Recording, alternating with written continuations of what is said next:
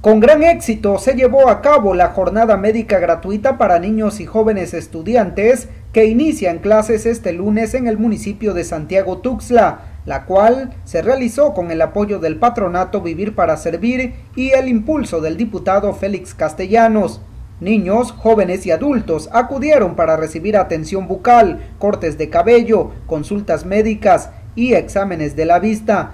Rosa Silvia Sosa de Castellanos, presidenta del patronato, dijo que la labor también se logra con el respaldo de la jurisdicción sanitaria número 10. Y bueno, pues queremos que toda la gente aproveche la oportunidad de venir a atenderse, de las consultas médicas, del dentista, del oculista, de todos los servicios que están dando como cortes de cabello, pues todo es gratuito y lo que queremos es apoyar a, la salud y a la economía de las familias de Santiago Tuxtla.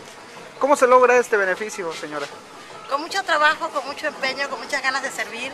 Como dice nuestro logo, vivir para servir, suena muy ambicioso, pero le estamos echando todas las ganas del mundo y claro, con el apoyo del de diputado Félix Castellanos, que está atrás de nosotros siempre dándonos la mano en todo momento, y la jurisdicción número 10, que no nos deja sola, y bueno, gracias a la Secretaría de Salud. Estas acciones de beneficio para el pueblo se llevarán a cabo también en otros municipios de la región de los Tuxtlas.